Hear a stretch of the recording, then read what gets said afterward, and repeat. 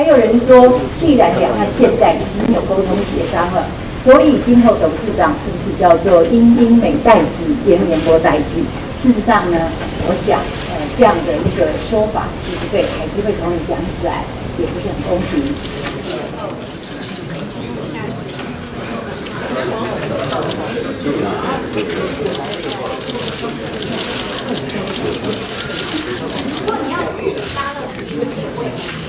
今天是我最后一次主持海基会的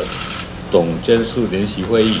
很感谢各位董监事在五百六十一天了哦啊以来给我的支持，本人啊铭记在心。我说过去我是参与参与这个决策过程，今后就是走到第一线来做呃服务的工作。那么我是以一种战战兢兢的心情来接受呃。这样的一个呃职位的安排，我们两岸之间呃没有任何事情是小事，每一个事情我们都用一种最严谨的、最严肃的态度来处理。我想呃这个呃